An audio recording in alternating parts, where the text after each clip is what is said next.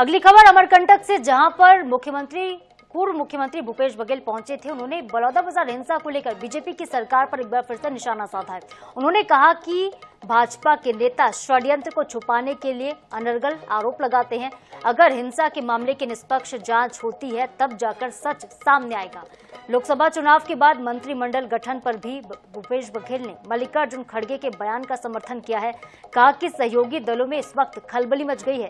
ऐसी स्थिति सभी भाजपा शासित राज्यों की है।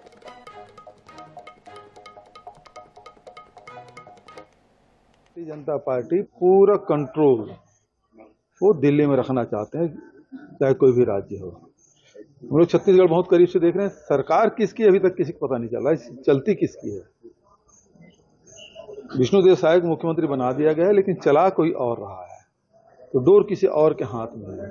तो जैसे राजस्थान में पर्ची वाले मुख्यमंत्री के नाम से प्रसिद्ध हैं तो उसी प्रकार से स्थिति पूरे भारतीय जनता पार्टी शासित राज्यों में है।